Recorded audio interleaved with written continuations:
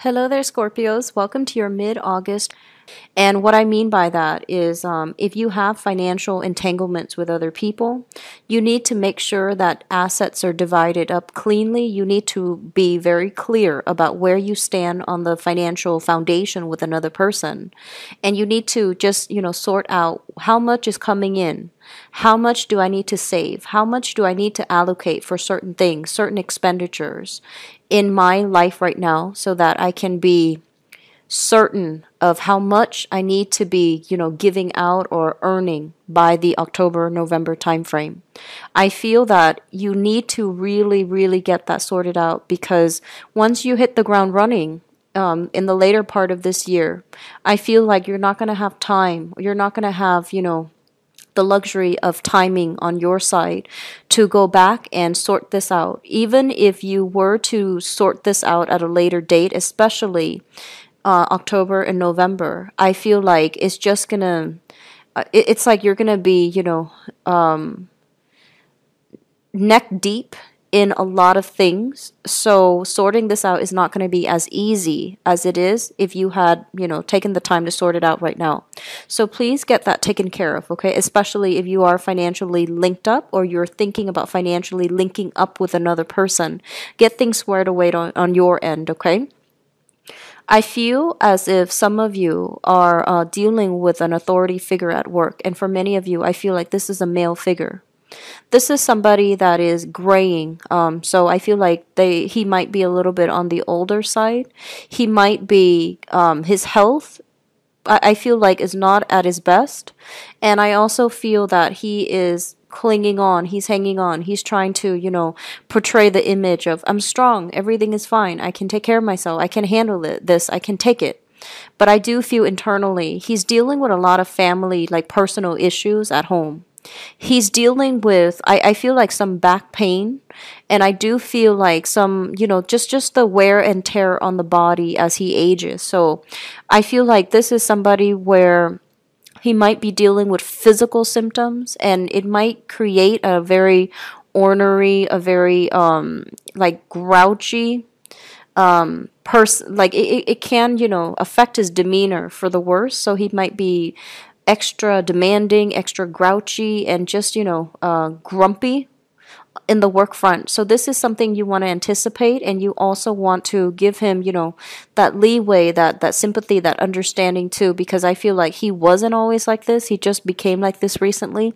And so, you know, give him that that benefit of the doubt because I feel like he's dealing with some internal aches and pains, okay? For for some of you, it could be like a boss um, a supervisor, for others of you, a father that you're dealing with. Okay, if if it's like a home based business, I feel like this is somebody directly um, kind of like in charge of you. And I do feel that he's dealing with some things. It could be emotional or even physical, but I do see more physical symptoms. Um, I do see leg pains. I do see like muscle spasm. I do feel like diminishing energy as well, where he's kind of pushing himself a little bit too hard.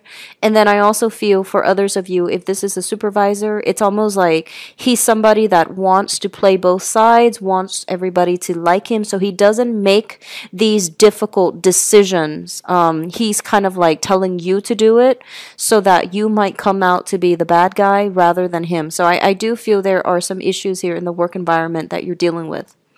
Um, I feel like for the next two weeks, so keep in mind this reading is going to run roughly from the 15th to the end of August. I see you, somebody coming through, um, and they're like, let me just tell you what's what I want. Let me tell you what's going to happen. And of course, they're going to, you know, give you some half attempt at a plan. They're going to give you some half baked plan. And you're just like, wait a minute, let's back up a little bit. Let me tell you what's going to happen. So I feel like you're taking a very no, no nonsense approach when it comes to not tolerating people coming in with half baked plan. I feel like they're coming in with all of these ideas and you're the one that is going to have to make these difficult decisions by telling them you haven't done the work.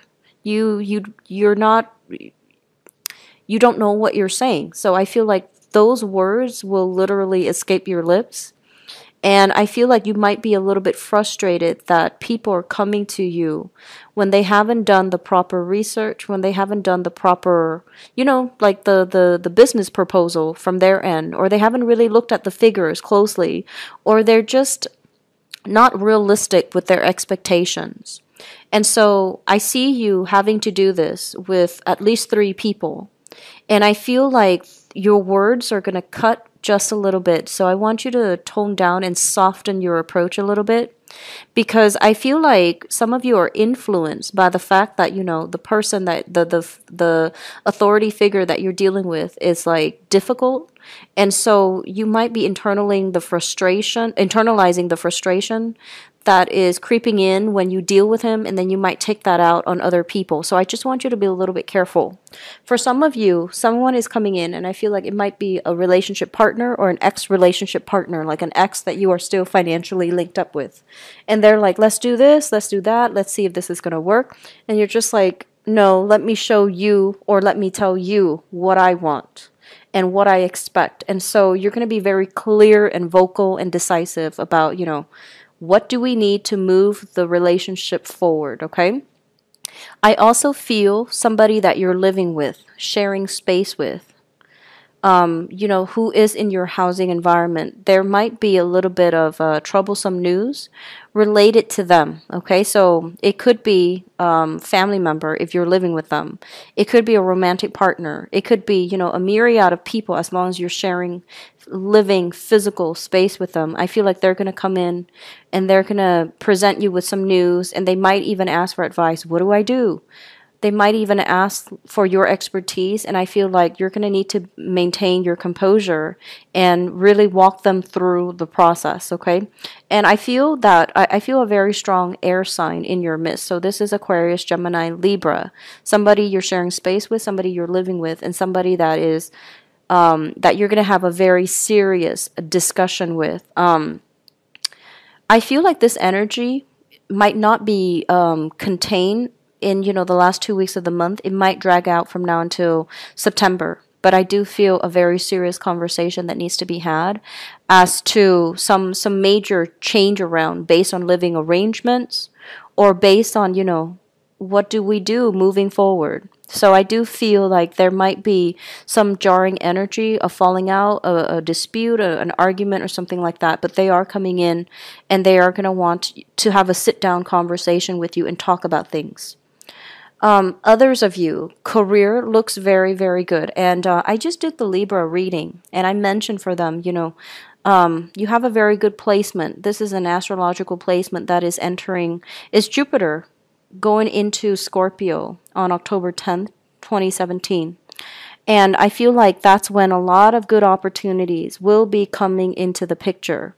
So, for those of you who have suffered from, you know, um, relationships that have really gone nowhere and relationships that left you, you know, with a with a, an emotional void. I feel like you're going to have a lot more luck after the October timeframe. So make yourself available to date, okay? But I do feel the time from now until October, it's all about tying up loose ends, letting things go from the past, and figuring out, you know, moving forward, how you can be financially depend, like independent, how you can be emotionally independent, and so you can reap a lot of rewards coming through with this uh, Jupiter transit happening on October 10th of this year, and so.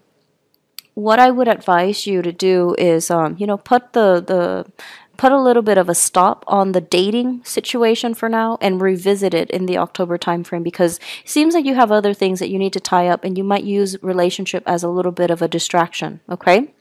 Um, the other thing coming through here they are really telling you to, you know, reassess where you are keeping yourself a little bit too um I want to say like too sequestered. So I feel many of you your social life is lacking and um, it would be a good time for you to you know re-engage with old friends reach out a little bit make time to really improve your social life. You know it's not just about gym work home. It's not just about those three things.